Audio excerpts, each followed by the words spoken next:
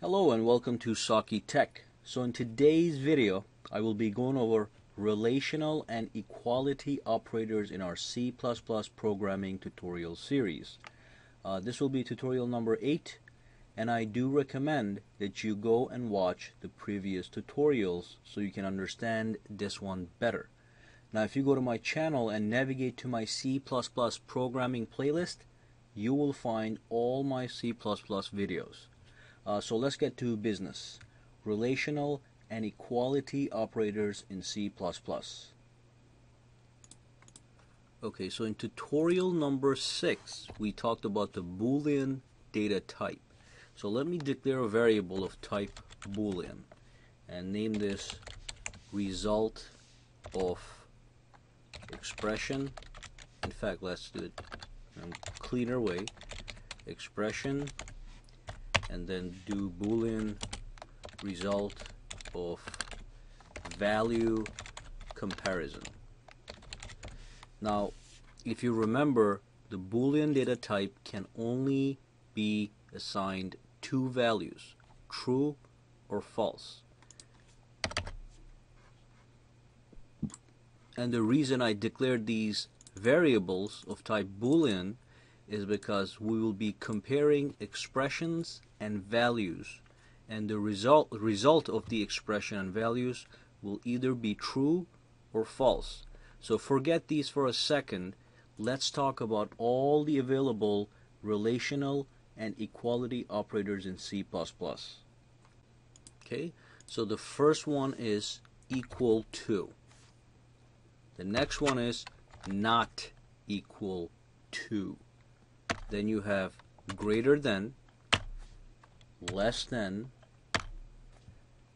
greater than or equal to, less than or equal to. Now the only operator here I want to put a special emphasis on is this one right here. The equal to operator. Now this looks very much like the assignment operator, but the assignment operator operator only has one equal to sign. Okay? So if I say A is assigned to 5, what that does is that assigns the value 5 to A.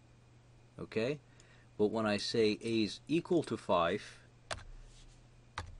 this is a relational comparison. So is A equal to 5? If A is in fact also 5, this would evaluate to true. If A is some other number than 5, this will evaluate to false. Okay, so this is equal to, not equal to, uh, greater than, less than, greater than or equal to, less than or equal to. Okay, so let me delete these and write some real code. So let's use uh, this variable right here. Okay, result of value comparison.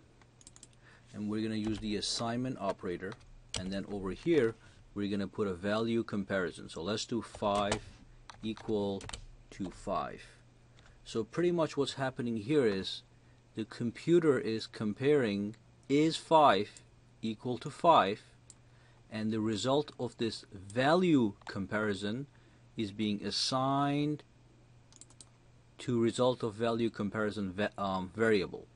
Okay, so remember, anytime you use relational operators to compare two values, the answer is either true or false. And to make this even clearer, let's just put this in parentheses. Okay, so let's do another one. Result, we're going to use the same variable for this whole thing.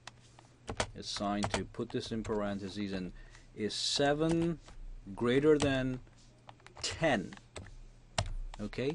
So this expression is going to evaluate to false. And the value false is going to be assigned to the variable result of value comparison. Okay? Now let's do one more. Result of value comparison is assigned to let's do is 5 greater than or equal to 5 semicolon okay so the expression here is going to evaluate to true and the value will be assigned to result of value comparison. Okay, and let's do one more. Result of value comparison is 2 not equal to 3? That's almost a question. Is 2 not equal to 3? Yes, it is not equal to 3. Uh, 3. So this evaluates to true and the answer is assigned to result of value comparison.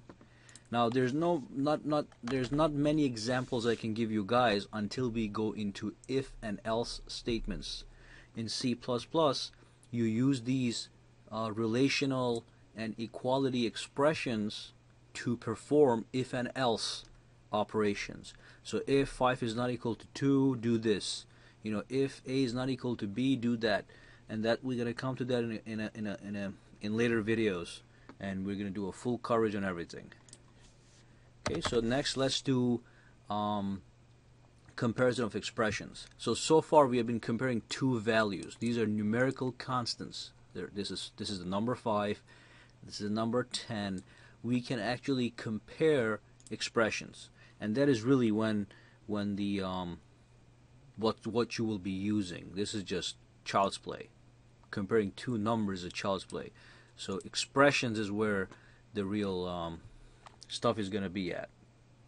So let's uh, declare a couple of variables. Let me declare integer a, b, c. In fact, let's do it one by one. Integer a is b, and remember, I'm declaring a variable of type integer, and I'm initializing into 5.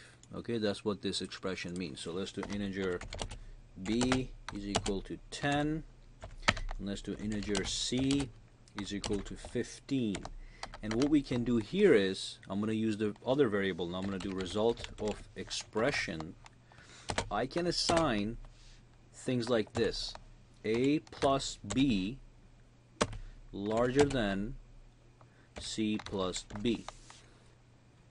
Okay, so this is purely math. What the computer does is it adds A plus B, which is 15, and it adds up C plus B, which is 25, and then it sees if 15 is larger than 25. Is 15 larger than 25, which evaluates to false, and the value of this expression is assigned to this variable. So let's do one more. So result of expression, let's say the expression is c plus b equals 2a plus b. So remember, this is almost like a question. Uh, does c plus b equal to a plus b? So what is c plus b? It's 15 plus 10, 25. a plus b is 15. Does 25 equal to 15? This is going to evaluate to false, and the answer is going to be assigned to result of expression. And like I said, we will be using things like these when it comes down to if and else statements, which is a big part of C++. So let's do one final example here and uh, close this this uh, tutorial. Okay, so C plus B not equal to A plus B. Okay, and put the semicolon. Remember that always. So C plus B is 25, A plus B is 15. Is 25 not equal to 15? Yes. So the expression is true, evaluates to true, and the answer is assigned to result of expression. So result of expression carries the value true. Okay? Whatever you assign to it. So remember, the result of a relational operation is always a Boolean value, which is either true or false. And the biggest thing is not to confuse the assignment operator with the equality operator. Okay? Always remember that. Okay, so this brings us to the end of this tutorial. Please subscribe to my channel for more C++ videos to come and click the like button if you liked this video and thank you for watching. Also don't forget I have many more C++ videos to watch them all for free, go to my channel and navigate to the C++ programming tutorials playlist. Thank you.